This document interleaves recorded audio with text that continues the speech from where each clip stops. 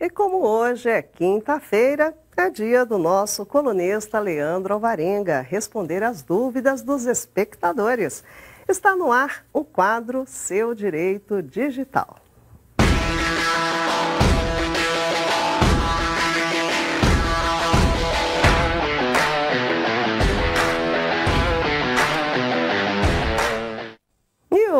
Nós temos uma surpresa e o prazer de receber novamente Leandro Alvarenga aqui nos nossos estúdios. Leandro, muito bem-vindo novamente. Que saudade de encontrá-lo assim pessoalmente. Boa noite, Marisa. Boa noite, todo mundo de casa. É um prazer estar aqui matando a saudade depois dessa pandemia toda que ficamos à distância. E vamos estar aqui sempre que precisarem. Ah, que ótimo. Então agora passamos a fazer aqui pessoalmente novamente. Com certeza. Olha que legal, pessoal. Pois é, né? Faz tanto tempo, desde o comecinho da pandemia, desde né? Desde pandemia. março de 2020, uma loucura, Exatamente. né, Leandro? Praticamente dois anos, mais dois anos aí, ficamos perto virtualmente, Sim. mas longe fisicamente, né? Pois é, então vamos matar a saudade. É isso aí. Muito bom tê-lo de volta. Bem-vindo. Muito obrigado, Marisa. Leandro, vamos responder as perguntas que os espectadores nos enviaram pelas redes sociais. Vamos lá? Vamos lá. Primeira pergunta é do Tutúlio. Ele quer saber se há alguma mudança em relação ao risco de hackers acessarem dados de pessoas com a chegada da rede 5G, que aconteceu essa semana é. lá em é. Brasília. É, Marisa, a rede 5G ela vai revolucionar de verdade a, a, velocidade, a tecnologia que nós vamos usar no dia a dia. Só que com, com, a, com a tecnologia vem também os problemas. A, a, a, velocidade 5G ela tem algumas, alguns pontos de vulnerabilidade de proteção de dados, tanto de, de invasões hackers quanto para furto de dados mesmo. Primeiro ponto de, de, de atenção é ela não usa poucos pontos de conexão. Isso quer dizer o quê? que as empresas elas vão ter que ter um sistema de monitoramento muito, muito mais complexo, porque eles vão ter que monitorar vários pontos de acesso, o que não acontece hoje com 4G e com 3G. Outro ponto de vulnerabilidade é a volumetria.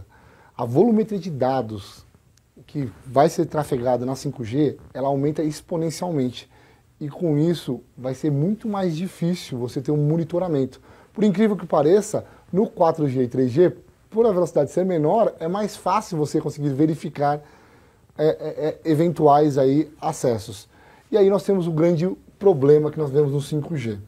O 5G ele veio para revolucionar a tecnologia, as famosas IoTs, né, a internet das coisas. O problema é que as, essas IoTs que são fabricadas hoje, elas não têm sistema de segurança. Ou seja, vai trazer uma vulnerabilidade para os usuários através das IoTs. Então você vai poder, de repente, é trazer uma vulnerabilidade para a rede, não pela rede, mas pelo mecanismo, a tecnologia que você está usando, o drone, a, o, o, o, termômetro do seu aquário, a sua luz é, é, elétrica. Temos muitos casos, por exemplo, já na Inglaterra, onde os carros são hackeados para furto. Né? E eles usam a tecnologia para fazer o hackeamento. Então, isso é um, é um ponto de alerta para as empresas que investem em tecnologia. Elas vão ter que fazer uma melhoria na tecnologia para as empresas que vão fornecer a infraestrutura para conseguir fazer um monitoramento adequado e a proteção adequada para o usuário, as empresas de IoT que vão fornecer esses gadgets, essas tecnologias para serem integradas à rede, têm que se preocupar com isso e também para nós como sociedade. Por quê? Porque os usuários vão ter que aprender essa nova tecnologia, vão ter que aprender a se, a se policiar e criar esses novos mecanismos. Vai ser, é muito bom, é muito importante, mas traz riscos e nós precisamos estar ali. Como eu sempre falo, a tecnologia ela veio para ajudar e o estelionatário ele veio para causar, né? A tecnologia evolui e o estelionatário também evolui. Então nós temos que evoluir para nos proteger, Marisa. Tá certo. Tá aí um ponto interessante, né? Porque já tem os desafios da, implant, né? da implantação do 5G e agora também a proteção de tudo que está ali exposto Exa e trafegando. Exatamente, porque é. esses outros pontos de vulnerabilidade nós vimos falando aqui várias vezes sobre o roteador, atualização do roteador, atualização do notebook, do celular, né? É a mesma coisa. Todos os equipamentos que vão ser interligados à rede, eles podem ser uma porta aberta para a invasão da rede. E aí, furto de dados, então nós temos que se preocupar. E não só nos nossos gadgets do dia a dia, os notebooks, os tablets, mas também no, no nosso termômetro do aquário, uhum. no, no, carrinho, de, carrinho, no drone, e tudo que for integrado a essa rede tem que estar com uma tecnologia tem que estar com antivírus, tem que estar atualizado, e as empresas têm que se preocupar.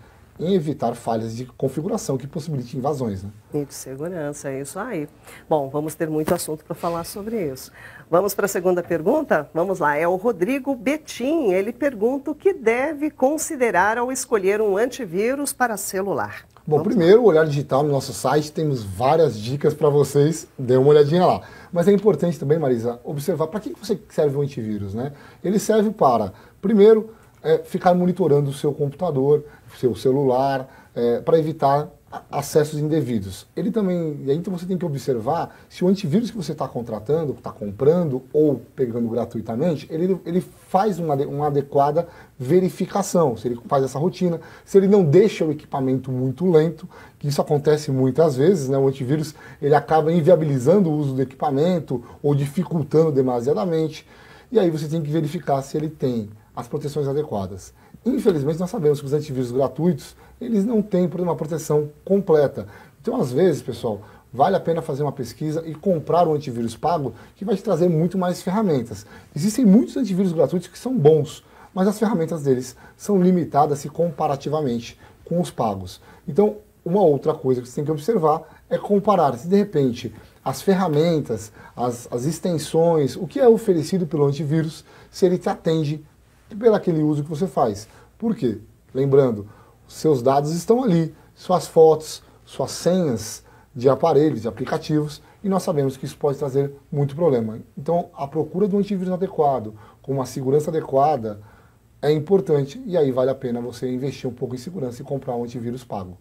Tá certo, tá aí. Uma dica, pessoal. Bom, e vamos agora para a terceira pergunta. Olha lá, é do Luiz Felipe Silva. Ele diz assim: existe indenização para usuários do Instagram que perderam a conta injustamente? Eu não sei o que ele quis dizer com isso de perderem injustamente, mas vamos tentar responder. Vamos né, lá, eu vou, eu vou, estender um pouquinho essa pergunta para todas as redes sociais, Marisa. Perfeito. Como que funciona? As redes sociais elas são uma prestação de serviço. E quem não acha que, que acha que é de graça, lá não é de graça, você está pagando com seus dados, com as suas informações, com seus hábitos. Então as empresas ganham com você. Você é a mercadoria porque elas vendem anúncio para você. Né? Elas não trabalham de graça. Ninguém, ninguém, eu brinco, eu gosto de dizer que não existe almoço grátis no mundo, né, Marisa? É. É, o que acontece? Por ser um prestador de serviço, eles estão sujeitos ao Código de Defesa do Consumidor, o artigo 14 do Código de Defesa do Consumidor, que fala que qualquer ato que seja cometido, o fornecedor deve indenizar. E aí nós temos que observar algumas coisas. As redes sociais, o Instagram, Facebook, LinkedIn, elas têm regras e termos de uso. E eles combatem ali alguns malefícios. Agora, eles não têm o poder legal de dizer exatamente o que, é malefício e o que, não é, o que, é uma, uma má informação ou não. Eles acabam sendo hoje censores da internet. Né? Você pode ver é, que tem muitas reclamações nas redes sobre isso. A minha conta foi suspensa, eu não falei nada, eu não fiz nada. O que a justiça tem entendido? O usuário tem que respeitar é, o, os termos de uso, porque é as regras do jogo, vamos dizer ali. Só que a rede social, ela, ela tem que respeitar a livre iniciativa, a liberdade de expressão. Se a pessoa não está cometendo nenhum crime, nenhuma apologia a crime, ao racismo, a perseguições, por exemplo, ela não pode é, cercear os direitos e opiniões das pessoas. E se caso ela o faça e ela não prove que houve ali um abuso por parte daquele, daquele usuário, ela tem que indenizar. Por quê, Marisa? a Justiça tem entendido, a Justiça de São Paulo, Distrito Federal e diversos julgados do Brasil. É, uma, que o Instagram, Facebook são usados às vezes para ganhar dinheiro. Né? As pessoas usam aquilo como ferramenta. E você gera um mal-estar para a pessoa. Porque quando você tem uma conta suspensa, aparece que o quê? Seus servidores vão achar que você fez alguma coisa errada. Né? Ele induz as pessoas dizendo, oh, por que, que, por que, que a, a, conta do Leandro foi suspensa? Será que a minha mãe, a minha avó, a minha filha vai achar o quê? Né? Oh, o papai está fazendo uma coisa errada. Isso gera um mal-estar para você, que vai muito além do, do mal-estar só de, ah, foi suspenso por um dia, não é nada, só verificando. Não afeta a vida da pessoa. E o Facebook, Instagram e outras redes sociais estão sendo condenadas quando a remoção de conteúdo ou quando a suspensão da conta é injusta. E quem tem que fazer a prova, Marisa, são eles, porque eles são fornecedores. E conforme o Código de Defesa do Consumidor, nós, na condição de consumidores, podemos pedir a inversão do ônus da prova. E quem tem que provar que, que a atitude foi irregular são eles, Marisa. Olha que informação interessante essa dica aí é para vocês. Se, se acontecer algo assim de suspender, então A rede social é que é responsável por provar o porquê que ela fez aquela suspensão. Exatamente. E é claro que eles sempre vão dizer que você desrespeitou os termos de uso, que você, mas alegações genéricas no judiciário não funciona. Eles vão ter que provar, Marisa. Olha, que interessante, pessoal. Tá aí, olha, Leandro Alvarenga retornando aqui aos nossos estúdios com informações preciosíssimas, como sempre. Leandro, mais uma vez, muito obrigada pela sua participação. E quinta-feira você está aqui com a gente. Estarei aqui com vocês, é um prazer estar aqui. E até quinta-feira, Marisa. Boa noite e aguardo as suas perguntas semana que vem. Fiquem com Deus. É isso aí, pessoal. Bom, como vocês já sabem, o Leandro Alvarenga, vocês acabaram de ouvir, agora retorna ao vivo aqui com a gente nos estúdios do Olhar Digital para responder as perguntas que vocês nos enviam pelas redes sociais. Então, aproveitem esse espaço, é de vocês, para tirar dúvidas. Vocês veem que sempre tem dicas importantes que o Leandro Alvarenga traz aqui para a gente. Combinado?